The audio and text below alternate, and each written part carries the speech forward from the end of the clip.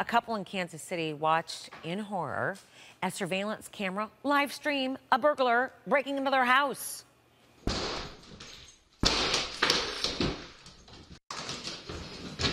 What must have the dog thought too, right?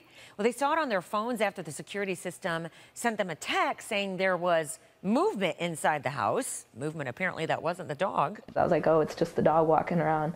And that's when I saw them kicking the door. And I literally just started shaking. Well, the two suspects got away with a television, um, some other electronics. Police say they're still looking for the person responsible or the people responsible. Meanwhile, the homeowners say they are expecting a baby soon. Um, so they say that they and the dog are traumatized over this. I can't imagine. Okay. That dog did not look very traumatized. Is he traumatized because he did not take any action? At least if he's a guard dog, let's say.